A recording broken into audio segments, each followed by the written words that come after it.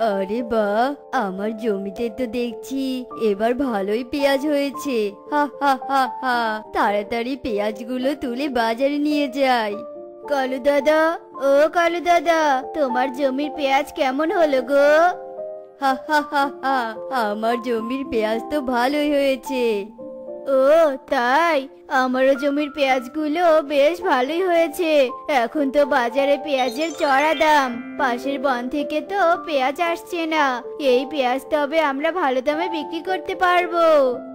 হ্যাঁ হ্যাঁ টোনা, তুই ঠিক কথাই বলেছিস। ধুর, কোথায় ভাবলাম আমি একা এই বনে পেঁয়াজ চাষ করেছি, কিন্তু এখন তো দেখছি, বেটা টোনাও পেঁয়াজ চাষ করেছে। এই টোনার জন্য তো আমার পুরো লাভটাই হবে না। ধুর ধুর। কই গো কাকুলি, আমাকে এক গ্লাস জল দাও তো। দাও দাও। আর দেখো, কি ভালো পেঁয়াজ হয়েছে। ও মা, সত্যি তো অনেক ভালো পেঁয়াজ হয়েছে। এত পেঁয়াজ, এগুলো তো ভালো টাকায় বিক্রি করা যাবে গো। হ্যাঁ গো কাকুলি কিন্তু ওই শয়তান টোনার জমিতেও ভালো পেঁয়াজ হয়েছে। ও তাই? তাহলে তুমি তাড়াতাড়ি গিয়ে বাজারে পেঁয়াজগুলো বিক্রি করে এসো। ঠিক আছে বউ তবে আমি বাজারে যাই। কালু দাদা তুমিও বাজারে আসলে? হ্যাঁ রে টোনা পেঁয়াজগুলো তো বাজারে বিক্রি করতে হবে। তা তো বিক্রি করতেই হবে। পেঁয়াজ তো চাষ করাই হয়েছে বিক্রি করার জন্য।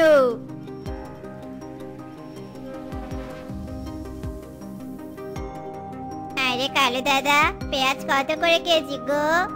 মাত্র পঞ্চাশ টাকা কেজি। ওরে বাবা রে পেঁয়াজের এত দাম? দাম তো হবেই এই বনে যে পেঁয়াজের আকাল পড়েছে। ঠিক আছে কালু দাদা তবে আমাকে এক কেজি পেঁয়াজ দাও তো।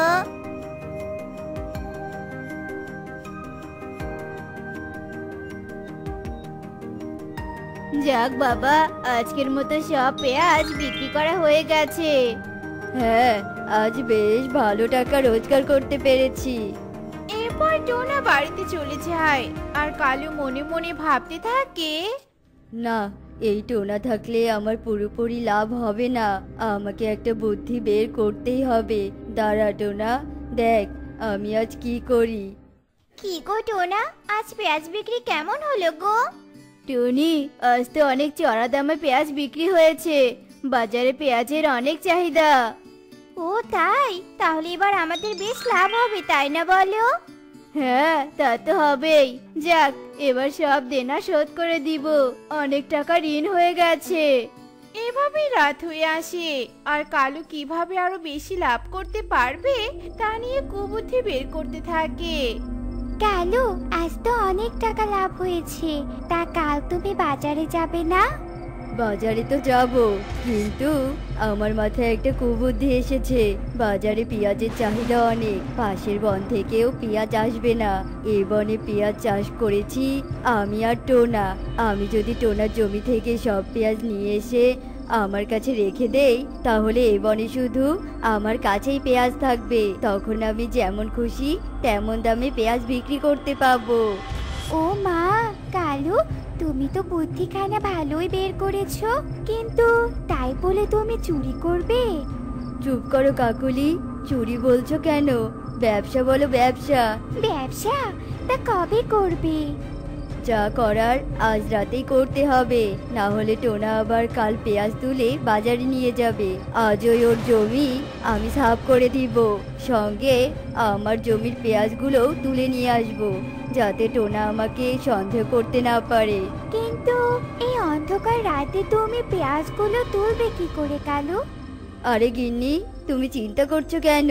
আমাদের হেরিকেনটা তো আছে। আমি হ্যারিকেনের আলোতে টোনার জমির পেঁয়াজগুলো তুলে আনব। হ্যারিকেনের আলো দিয়ে কি হ্যারিকেনের আলো দিয়ে কি কাজ হবে? হবে না কেন? অবশ্যই হবে। তাহলে আমিও তোমার সাথে যাব কালু।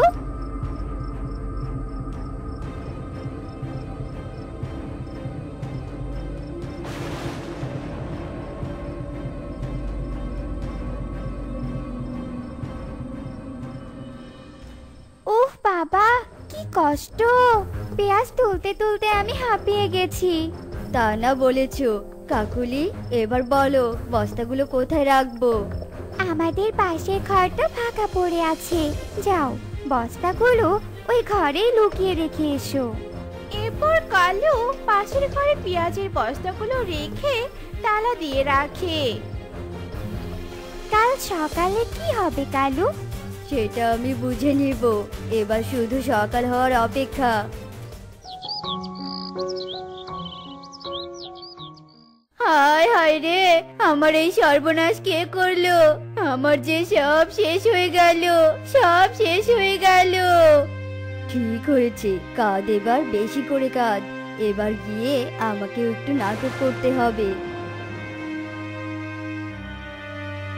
কি হয়েছে, টোনা? তুই কাঁদছিস কেন? কালু দাদা, আমি তোমারই অপেক্ষা করছি। দেখো, আমাদের জমিতে একটাও পেঁয়াজ নেই। টোনা, তুই এসব কি বলছিস? কে আমাদের এত বড় সর্বনাশ করল রে? কে এত বড় সর্বনাশ করল? কালু দাদা, যে এই কাজটা করেছে, সে কখনো সুখী হতে পারবে না, কখনোই পারবে না। টোনা সে যে পেঁয়াজ নিয়ে কত সুখী সেটা তুই কি করে বুঝবি?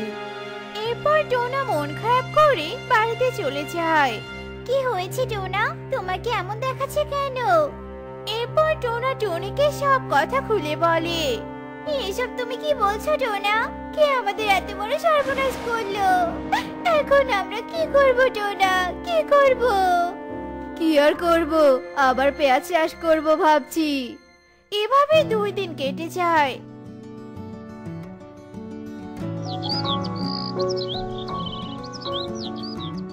আর কালু অন্য সবজি নিয়ে বাজারে চলে যায়। দুই দিন থেকে তো বাজারে আসি না। আর যখন বাজারে এসেছি, তখন পেঁয়াজের দামটা জেনেই যাই।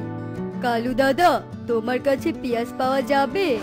না রে তোতা, আমার কাছে তো পেঁয়াজ নেই, তবে আমার কাছে অন্য সবজি আছে, তুই চাইলে নিতে পারিস।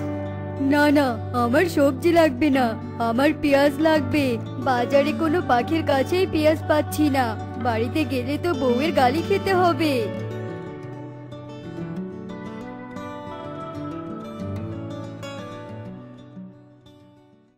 কালু, তুমি সবজি বিক্রি করনি?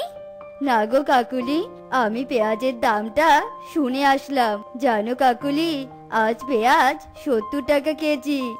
ও মা তাই? তাহলে এবার তুমি পেঁয়াজগুলো বিক্রি করে ফেলো। আজ দেখলাম টোনা আবার জমিতে পেঁয়াজের চারা রোপণ করছে। না কাকুলি এক্ষুনি পেঁয়াজগুলো বিক্রি করা যাবে না। আরও পেঁয়াজের দাম উঠুক তারপর বিক্রি করব। কালু রোজ বাজারে যায় আর পেঁয়াজের দাম শুনে আসে। কিন্তু পেঁয়াজ বিক্রি করে না।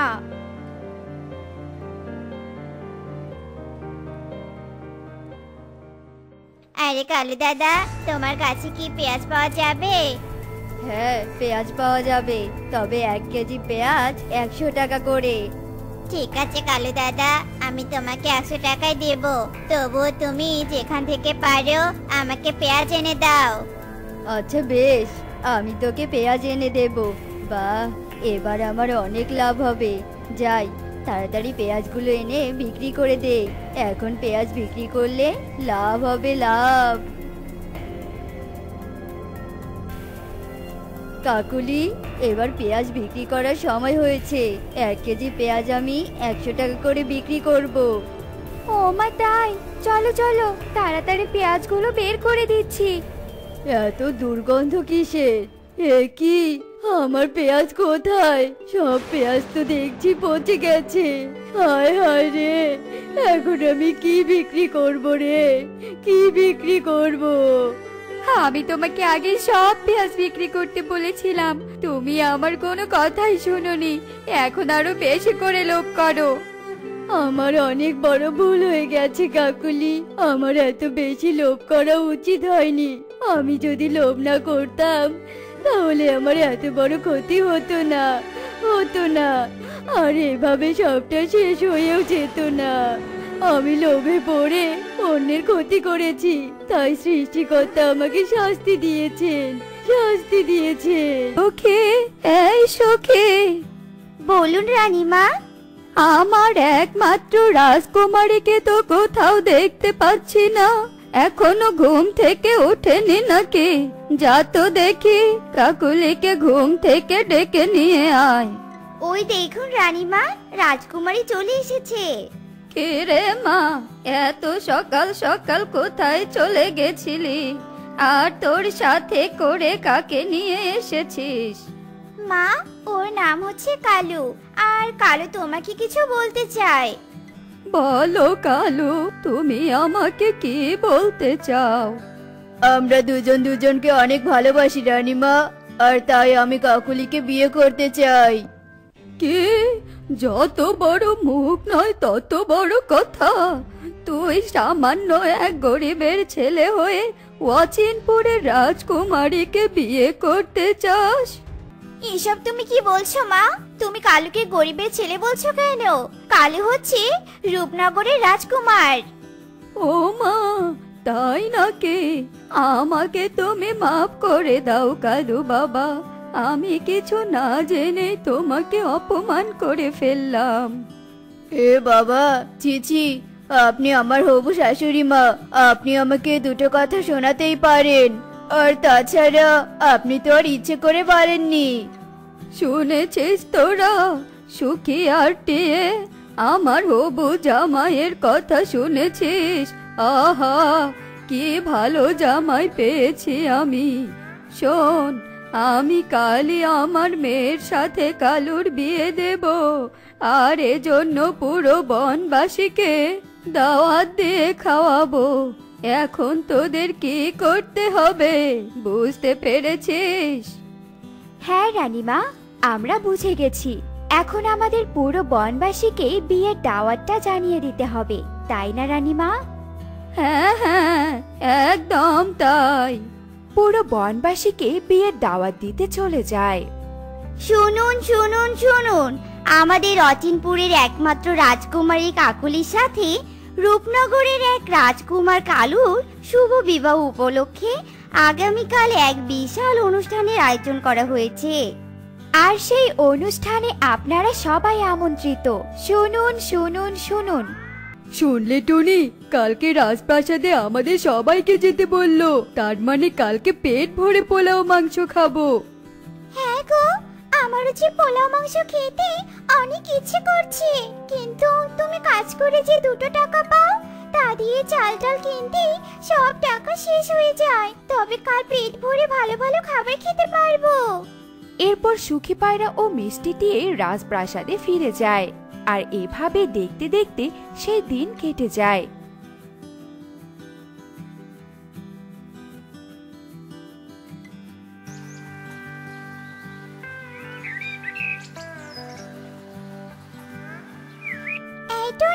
বলো তো আমাকে দেখতে কেমন লাগছে? ও মা তোমাকে তো চেনাই যাচ্ছে না টুনি। তোমাকে অনেক সুন্দর লাগছে গো বউ অনেক সুন্দর লাগছে। এ কি তুমি চশমাটা পরনি কেন? এই নাও তাড়াতাড়ি চশমাটা চোখে দাও তো দেখি। ঠিক আছে টুনি। তুমি তাহলে রাজপ্রাসাদে চলে যাও। আমি বাজার থেকে গিফট নিয়ে আসছি। এরপর টুনি একা একা রাজপ্রাসাদে চলে যায়। রানীমা তাড়াতাড়ি বর কনেকে নিয়ে আসুন। বিয়ের লগ্ন যে পেরিয়ে যাচ্ছে। হ্যাঁ হ্যাঁ এই কাকুলি জামাইকে নিয়ে এখানে চলে আয়। বন্ধ করো তোমরা এই বিয়ে বন্ধ করো। এই কালো শুধু আমার বিয়ে হলে এই কালোর সাথে আমারই বিয়ে হবে। এই টনি এই তুই এসব কি বলছিস? আমার হবু জামাইকে বিয়ে করবে মানে? ছেঁড়া কাঁথার ওপর ঘুমিয়ে থেকে রাজকুমারের বউ হওয়ার স্বপ্ন দেখছিস? হারামজাদি, তোর এত বড় সাহস? তুই আমার কালুকে বিয়ে করার কথা বলিস? এই, তোরা কে কোথায় আছিস? এক্ষুনি এই টুনিকে বন্দি কর।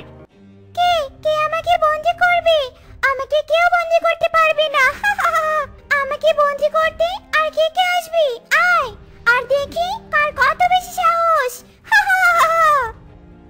সবাই টুনিকে দেখে অনেক ভয় পেয়ে যায়। আর গিয়ে কাকুলিকে সরিয়ে দিয়ে কালোর পাশে গিয়ে বসে। মা ও মা এই শয়তান টুনি তো আমার কালুকে খেয়ে নিল মা আমার কালুকে খেয়ে নিল।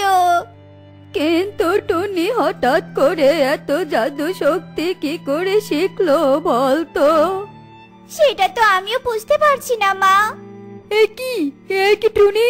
তুমি রাজপ্রাসাদের আসনে বসে আছো কেন? এখানে তো রাজকুমারী কাকুলি বসে থাকার কথা। তুই এসেছিস তো না? দেখ দেখ তোর বউ টুনির কার্যকলাপ।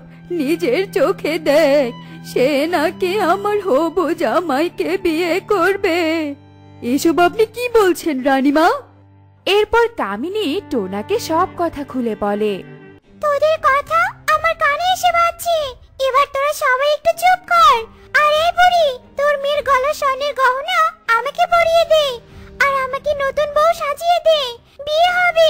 আমার কালুর সাথে আমার বিয়ে হবে। টুনি হে টুনি কি হয়েছে তোমার? তুমি হঠাৎ করে এমন পাগলামি শুরু করেছ কেন? নেমে এসো টুনি আমরা এখান থেকে চলে যাই। আহা তখন থেকে দেখছি সবাই আমাকে টুনি টুনি বলছে।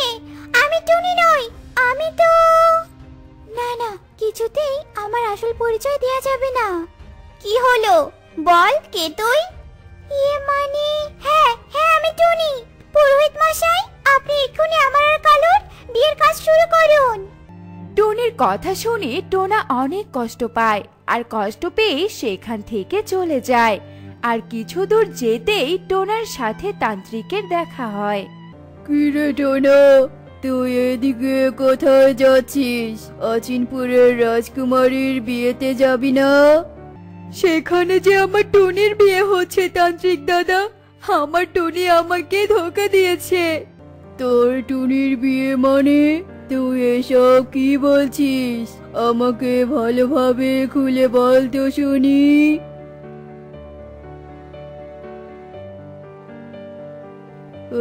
আচ্ছা। এই ব্যাপার।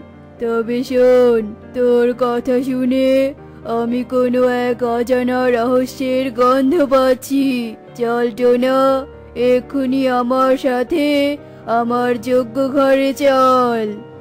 কি হলো তান্ত্রিক দাদা? যজ্ঞ করে কিছু বুঝতে পারলে? আমি যা সন্দেহ করেছিলাম একেবারে তাই হয়েছে টুনির সাথে। কি হয়েছে আমার টুনির? বলো তান্ত্রিক দাদা, বলো। শোন তবে, মুন্নি নামে এক আত্মা কালু রাজকুমারকে অনেক ভালোবাসত। কিন্তু কালু তার ভালোবাসাকে মেনে না নেওয়ায় মুন্নি কুয়োতে লাফ দিয়ে মরে গিয়েছিল।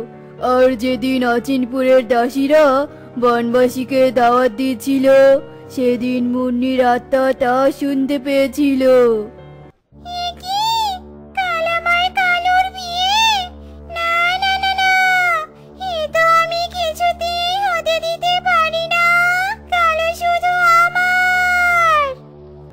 পরের দিন যখন টুনি অচিনপুরের রাজপ্রাসাদের দিকে যাচ্ছিল তখনই মুন্নির আত্মা টুনিকে দেখতে পায়।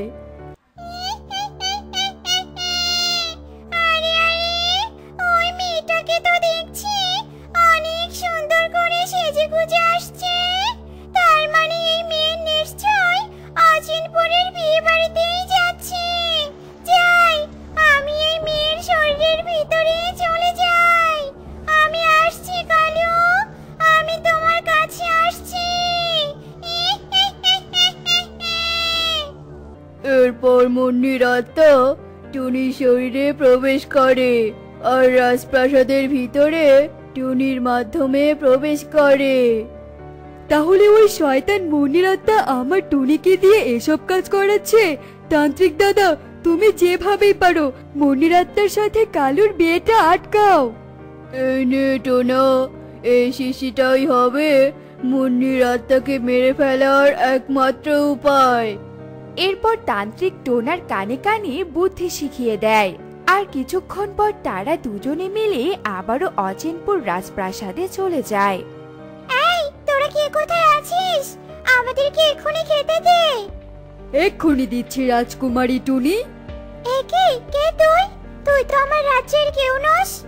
ইয়ে মানে আমি হলাম রাধুনি। আমি অনেক মজার মজার খাবার রান্না করতে পারি। তাই নাকি? তাহলে দেরি কেন? যা এক্ষুনি রান্না কর। আর মজার মজার খাবার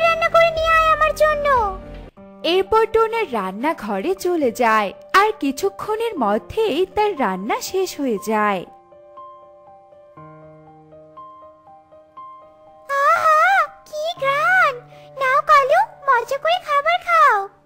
এরপর টুনি যেই না বিষ মাখানো খাবার খায় অমনি টুনির পেটে যন্ত্রণা শুরু হয়ে যায়। মরে গেলাম গো মরে গেলাম। কালু আমাকে বাঁচাও তোমার সাথে সারা জীবন কাটাতে চাই কালু। আমাকে বাঁচাও। এসব বলতে বলতে টুনি অজ্ঞান হয়ে যায় আর টুনির শরীর থেকে মনের মৃত আত্মা মাটিতে পড়ে যায় আর এটা দেখে সবাই অনেক অবাক হয়ে যায়। এ কি? এটা তো মুন্নি। এখানে মুন্নি এলো কোথা থেকে? এরপর তান্ত্রিক সবাইকে সব কথা খুলে বলে। আর কিছুক্ষণের মধ্যে টুনির জ্ঞান ফিরে আসে। এরপর আবারও কালু আর কাকুলির বিয়ে হয়ে যায়। আর এভাবেই অচিনপুর রাজ্যে আবারও সুখ নেমে আসে। তো বন্ধুরা, আমাদের আজকের এই গল্পটি তোমাদের কেমন লেগেছে তা কমেন্টে জানাতে ভুলো না কিন্তু।